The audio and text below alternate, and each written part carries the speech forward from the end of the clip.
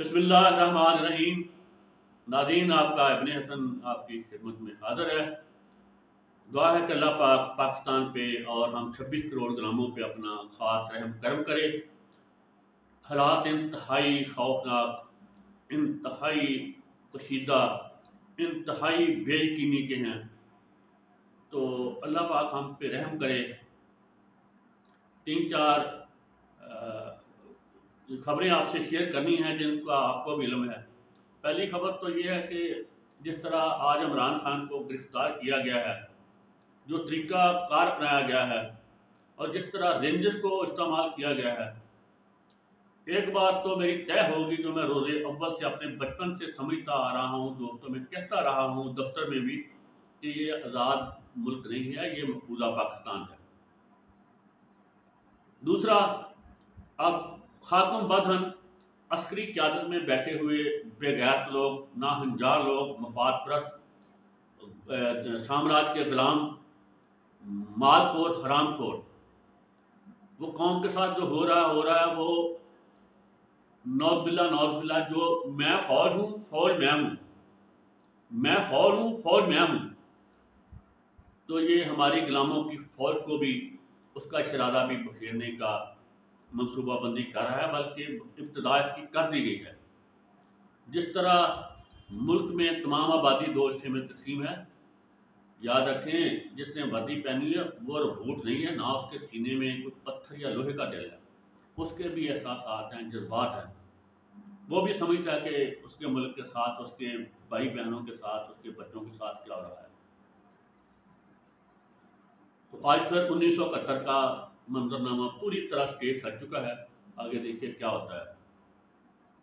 तो मैं अपील करूँगा, अस्करी क्यादत में मुहब वतन, बहादुर, जरी जानतदार ईमानदार जनीलों से वो आगे बढ़े और ना हमजारों को कोई होश का सबक दें, जिससे चलो पाकिस्तान और हम आवाम तो नहीं, फौज तो बच सके।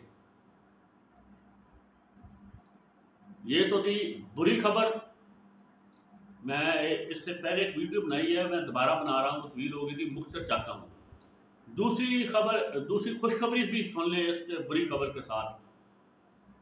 वो खुशखबरी ये है, ईमानदारी की बात है, मुझे एक फ़ीसद की उम्मीद नहीं थी कि chief justice high court Islamabad इतना बड़ा स्टैंड ले सकता है। उसको मैं सलूट करता हूँ उसकी ज़रूरत पे। जिस तरह उसने रेंजर को हुकूमतों को बुलाया कि पंद्रह मिनट में मुझे जवाब दें दूसरी बड़ी खुशखबरी आज की ये है कि जिस तरह सुप्रीम कोर्ट ने मेरे प्यारे लाडले शहीद अशे शरीफ के की शहादत के बारे हुकूमती जेआईटी को उड़ा के रख दिया है, उस पर भी सुप्रीम कोर्ट को सलाम। अर्ज़ करता चलूँ जनाब, चीफ जस्टिस सुप्रीम कोर्ट साहिब, चीफ जस्टिस ऑफ़ पाकिस्तान साहिब और फादर जजेस साहिब, साहबान, हमें किसी हुकूमती रियासती जे आई टी की एतबार नहीं है। अगर पाकिस्तान से किसी से इंक्वायरी करवानी है तो फिर शहब सडर साहब से करवाएँ, जनाब सराजुल हक से करवाएँ जमात इस्लामी वालों से। या फिर खुद सुप्रीम कोर्ट के को बना दें कमीशन जो आज़ादाना इंक्वायरी करे। ये तो सिर्फ़ एक घंटे की इंक्वायरी है, पता चल जाएगा असल कातल कौन है। और इसमें तो कोई दो राय है नहीं। इमरान खान पे कातलाना हमला करने वाले दो दफ़ा, परवेज लाई के घर पे हमला करने वाले, शबाज जल के साथ, जो कुछ किया गया आत्मस्वाति बूढ़े के साथ जो कुछ किया गया, गुजशत मई में जो कुछ लाहौर में हुआ।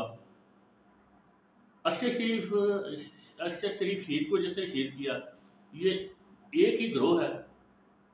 और तो कोई नहीं इन सब के पीछे एक ही ग्रोह है, एक ही शख्स है। और या तो वो खुद इतना ताकतवर है कि उसके सामने D D I S I और आर्मी चीफ पे बस है, या फिर उनकी पुष्पना ही असल है। बस इसी के साथ आज़ाद चाहूँगा, हौसले जवान रखें, हिम्मत जवान रखें। मेरा रोज़े अव्वल से ये मौक़ है कि हमें आज़ादी नहीं मिली थी अंग्रेज़ ने अपनी ज़रूरत के मुताबिक हमें काट कर अलहदा किया था। और आज भी जनरल ग्रेसी की रूह काबज है पाकिस्तान पे जी एच क्यू पे। वहाँ कोई भी शख्स हो, लेकिन जनरल ग्रेसी वहाँ मौजूद है। वो कभी नहीं चाहते हम आज़ाद हों, ना वो हमें आज़ादी देना चाहेंगे। तो आज़ादी ली जाती है, जाने कुर्बान करके, माल कुर्बान करके। मैं भी बूढ़ा, अपनी जान कुर्बान कर दूँगा आइए निकलिए। सब आज़ादी के लिए, इमरान खान के लिए नहीं, आज़ादी के लिए। तो तशद सहना होगा। एक्सपायर्ड जहरीले तीन असु गैस के शल बर्दाश्त करने होंगे। लाठीचार्ज बर्दाश्त करना होगा। शहादतें देनी होंगी मजदूर होना पड़ेगा। अगर हम में हिम्मत, हौसला है तो कोई माइकल आर हमारी आज़ादी के सफ़र का नहीं रोक सकता। अगर हम बेहिम्मत, मुनाफक लोग हैं तो फिर हमें फरिश्ते भी आके आज़ादी नहीं दिलवा सकते। तो हौसले जवान रखिए, हिम्मतें जवान रखिए। अगर आज़ादी की तलब तड़प है तो कदम बढ़ाइए, मायूस मत हो। इसके साथ ही याद दीजिए नसर मिनल्ला वफात करीब। पाकिस्तान जिंदाबाद पाकिस्तान जिंदाबाद। अल्लाह।